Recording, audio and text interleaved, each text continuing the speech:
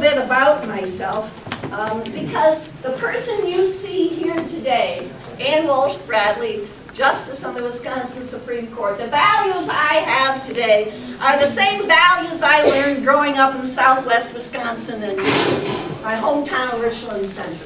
Those are values of family, of fairness, of hard work, and service to others. Those are the values I took with me when I went to La Crosse as a high school teacher. Those are the values I took with me when I went to Wausau to practice law after I finished law school at the University of Wisconsin. I served as a Marathon County judge for 10 years. My husband Mark and I still live in Wausau. We raised our four children there, and those are the same values that we tried to impart to them. That is family, fairness, hard work, and service to others. I've had the honor of being on the Wisconsin Supreme Court for the last 20 years. I know that the people of this state want a justice who's fair and impartial and willing to make the tough decisions. For the last 20 years, I have a proven record, proven record of applying the law to uphold individual rights, to make sure government is open and accessible, and holding government accountable. I have worked day after day not only to make sure we have a fair and impartial court, but one that is nonpartisan and one that is not beholden to spe any special interest group. When people come to court, or their neighbors come to court, or their, or their relatives come to court, they want to make sure that there's a level playing field. They want to make sure they get a fair shake no matter how rich or poor, no matter how powerful or powerless.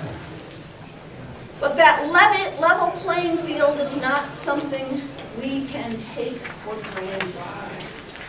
Got to be ever vigilant.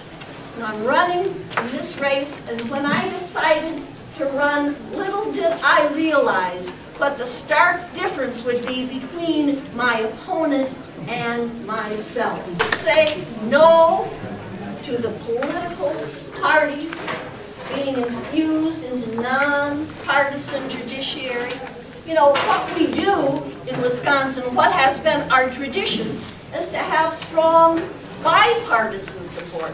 I have the support of bipartisan leaders around the state of Wisconsin, and those include people like former First Lady, Republican Sue Ann Thompson, uh, Ron Kind, Democrat from the western part of the state, Congressman, State Senator Dale Schultz, Republican, Richland Center, and Tim Cullen, State Senator from my opponent's home county, Rock County. The four of them got together and sent a letter to the editor of every newspaper in this state. Mm-hmm. And the letter started this way. In this time of partisan divide, we come together because we urge the re-election of Justice Ann Walsh Bradley because we too, they said, believe in the importance of a non-partisan judiciary. Strong bipartisan support from over 130 sheriffs and chiefs of police and district attorneys from around the state and over 170 judges from all levels of the court system are supporting my reelection. Those are the people that know my record best. Those are the people who know my commitment to the court system. Those are the people who know what I stand for.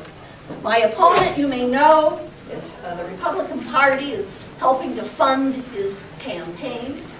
Now again, I need the votes of Republicans and Democrats and independents, but you gotta keep these political parties with their agendas out of our judicial races. Yeah. He's, he's campaigning from one Republican Party event to the next. Last week, I was in Milwaukee. We had a debate.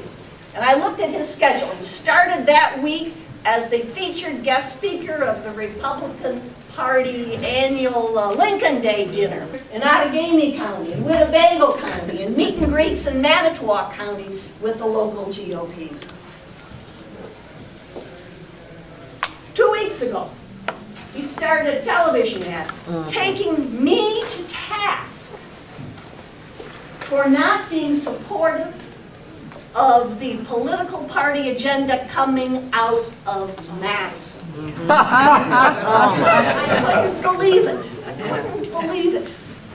Well, that's not the role of any Supreme Court justice, to be for or against any political party's agenda. I don't care what the party is, right? But he's taken me to task for not being supportive. Now, that misrepresents what justices do. We're not like the legislature. We're supposed to be different. And you better hope that we remain different, otherwise it undermines our very system of democracy in this state. So I'm going to ask for not only your vote and not only your support, but we need your help as we march together, hopefully, on uh, April 7th on Wisconsin and go Badgers!